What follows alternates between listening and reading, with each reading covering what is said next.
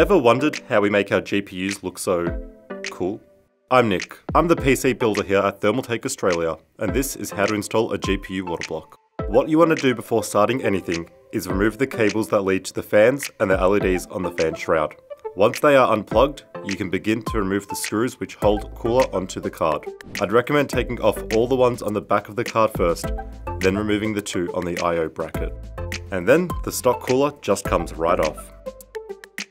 Next, there is even more screws for you to remove.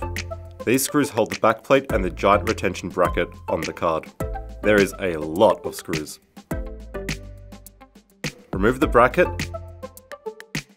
backplate, and don't forget to disconnect the backplate cable. Once you remove these, you are left with your bare graphics card. Now you're going to want to get your water block ready to go. Using something like isopropyl alcohol, remove the old thermal paste from the GPU. Now, grab the thermal pads from your water block box.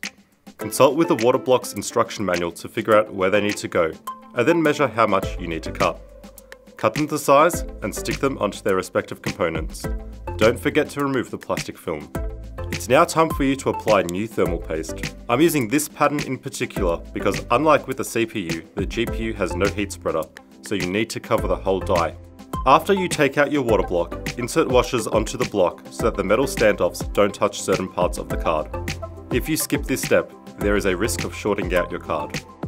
Now, you'll want to screw your graphics card onto your water block.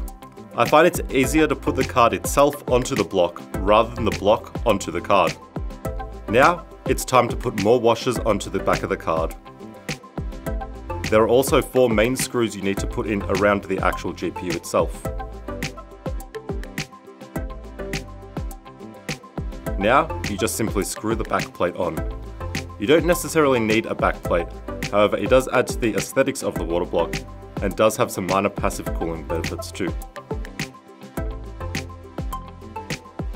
And now, your GPU water block is installed and ready to go into your PC. Thanks for watching.